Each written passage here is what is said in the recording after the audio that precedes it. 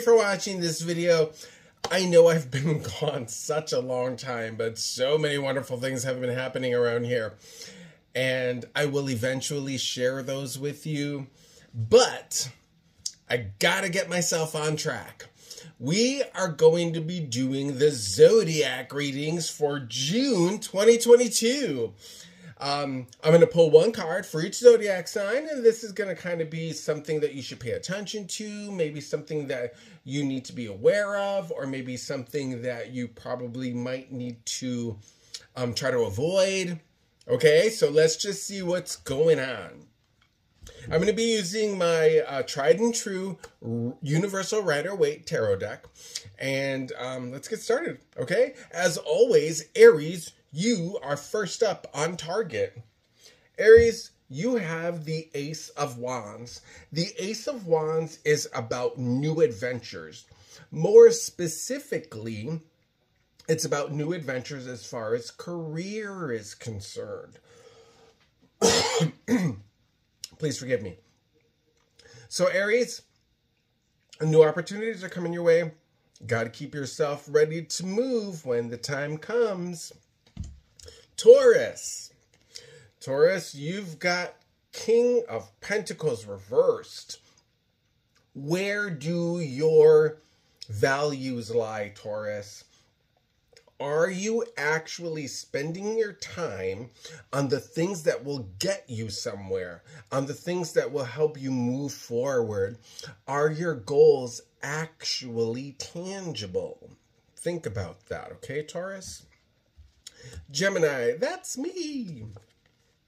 Gemini, four of pentacles reversed. Immediately, you need to be grounded.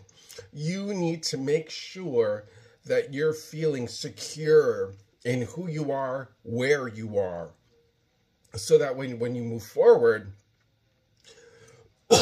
pardon, you're actually creating steps that provide value for you when you're moving forward. Okay, Gemini? Cancer. Queen of Wands. So the Queen of Wands for you, Cancer, means you're also in gear up mode. You're in hardcore passion mode. So what you want to do is you want to make sure that what you're doing is actively moving forward, even if it's baby steps, even if it's just the tiny step of a kitten moving forward. But for you, it is all about the adventure and all about the journey.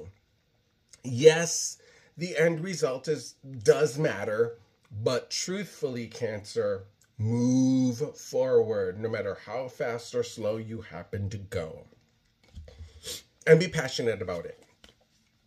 Um, Leo, Seven of Swords, Leo, not so great. But with the Seven of Swords, what this means is you don't have room for shenanigans. You don't have room for people to try to pull the wool over your eyes, or more to the point, vice versa, Leo. You have no room to play games here. Be a straight shooter be upfront, say what you mean, mean what you say. Okay? Virgo. Page of Cups, Virgo. With the Page of Cups, it's about learning a new way to tap in emotionally to the people that surround you, and especially the young people right now. Young people, Virgo, are needing your advice. They're needing your attention. They're needing for you to be a part of their lives. And I promise, with this Page of Cups, the rewards, especially on the emotional front, are very, very good. Libra. Three of Cups reversed, Libra. So basically, what this is boiling down to for you, Libra, is don't party too hard. There's plenty of time for you to kick up your heels and have a good time. But when it comes right down to it, make sure your head is in the game as far as your career is concerned. Make sure your head is in the game as far as the people that you care about, the emotional connections that you have. That's where you need to pay attention. And that's where you need to focus all your time and energy. There's plenty of time to party. Right now, be in the moment. Okay? Scorpio. Scorpio, Five of Swords, Scorpio. I would ask you this one question. No matter what your thoughts are, no matter what you're going to be doing, no matter what is on the horizon, is it in your best interest or is it in the best interest of the grand picture at large? Is it good for you or is it good for the world that surrounds you? Think about that before you make actual decisions. And I want to throw it out that way because what might be good for the world may not be good for you, and vice versa. What might be good for you may not be good for the world that surrounds you. So think about that, okay? Scorpio, nope, Sagittarius. Sagittarius, you've got the Magician Reverse. The Magician Reverse is focus your power, focus your energy. You're all over the place, Sagittarius. And the hard part about that is, is that there are so many things that you want to get done. And you're doing a little bit here and there and everywhere, but you never end up with a finished product. Focus on start to finish with every single project you've got on your plate. You're going to feel, sorry, you're going to feel so much happier with the end results as if you focus where, on what you're doing and where you are. Pardon. Capricorn.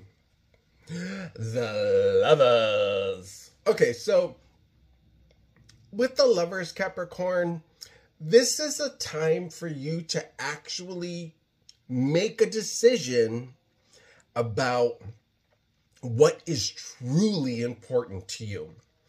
Where do you fit in? What's your niche? And if you have decisions to make as a result of the lover's card, really think about the end result. It's not how you get there, it's the fact that you get there and where is it you're ending up. Okay, so really think about your decisions. Aquarius. Two of Cups reverse, Aquarius.